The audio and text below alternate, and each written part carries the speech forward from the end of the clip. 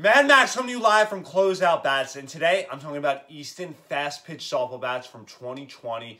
And right here, I have the Easton Dual Stamped Ghost Bat. So to understand what dual stamp bat means, we need to take a step back and go back to the first generation Ghost bat. So the Ghost launched in 2017, the double barrel technology with that extra tough resin matrix composite, which is going to be the same type of composite found in this bat right here. So what you have from that first one is, that was the ASA bat. So the ASA bat came out, it was an end-loaded bat as well, and pop out of this world. And it was only good for that high school college girl, as well as some people that were playing ASA tournaments. So what you get with this bat is, this bat will be allowed in any tournament because it will have all those association stamps. That's what the double, double barrel, also dual stamped.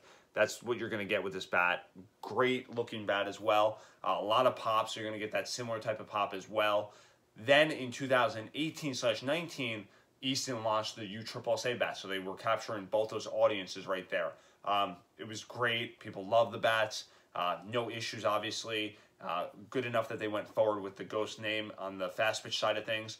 And also what you got was a lot of talk, a lot of buzz about this bat. People were kept coming in, they kept asking about the bat. They didn't even know what the Ghost was. It could have been a girl that was playing for the first time, but they just heard that somebody at the field was saying the Ghost bat has a lot of pop to it, a lot of great performance in that Ghost bat.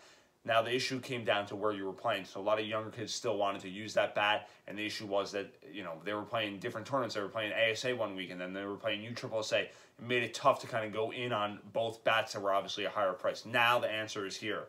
You have the dual stamp bat now people can use it. There's a couple changes to this bat in the drop 10 bat. So what you get with the drop 10 bat is it's going to be an evenly ba balanced bat where last year the double barrel uh, ASA one and USSSA were an end loaded bat. So balanced bat here, you're going to have an end loaded bat in the drop 9 and an end loaded bat in the drop 8. So that's what you're going to get out of the new Easton double barrel and you're going to have the dual stamp to it. So what it means by double barrel is you're going to have another wall to this bat, meaning another barrel going the full length of this barrel right in the inside here.